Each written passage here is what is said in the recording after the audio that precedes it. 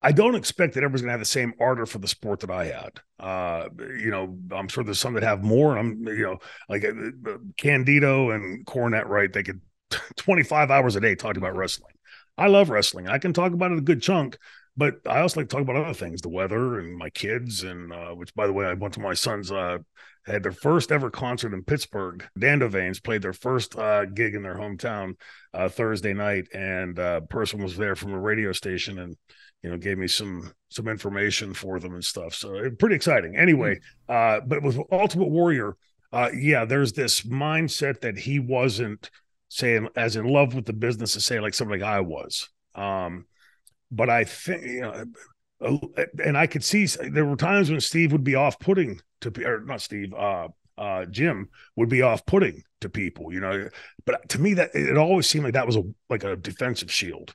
Um, Eh, that he, you know, you walk into those dressing rooms, especially back then, you go Jake Roberts and you know this litany of just amazing talents around, and you're under the ring and shaking the ropes, right? So eh, you're you're very well aware of who's better than you in that dressing room, and eh, you know there's and there's always this perennial you know ongoing thought that I'm never going to be as good as Harley. I'm never going to be as good as Steamboat. I'm never going to be as good as this person or that person.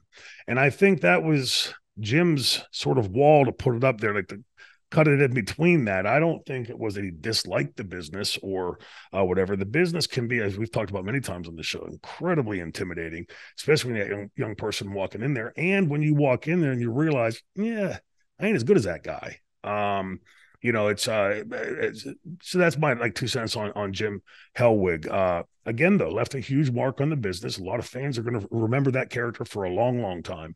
Uh, but you're right with Steve. Like he, I would watch him, and we, you know, we traveled in UWF. Me, him, uh, Brad Armstrong, and Tim Horner ran those roads together, and you know, we, you know, eight, 10, 12 hours in the car.